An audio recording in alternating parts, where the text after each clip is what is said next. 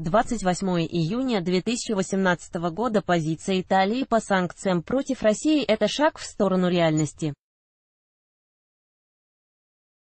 Мы не будем драться со всеми, чтобы сразу убрали санкции, но мы начнем этот процесс, заявил в эфире программы «60 минут» Виторио Тарембини, вице-президент Ассоциации итальянских предпринимателей в России.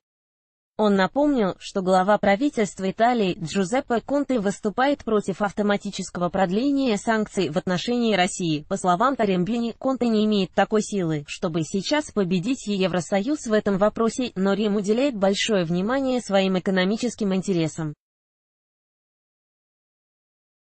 Потери от антироссийских санкций составляют только в Италии 7 миллиардов евро, лучше действовать по чуть-чуть, чем не действовать совсем. Например, начать финансировать малый и средний бизнес, подчеркнул Тарембини. 28 июня в Брюсселе открылся двухдневный саммит лидеров стран-членов Евросоюза. Главная тема – миграционный кризис, который переживает ЕС. Политики вновь попытаются договориться, что делать с миллионами беженцев, которые незаконно попадают в Европу, также будет обсуждаться торговая война между Европой и США. Вместе с тем, на этой встрече в очередной раз речь пойдет о выполнении Минских соглашений в увязке с экономическими санкциями против России.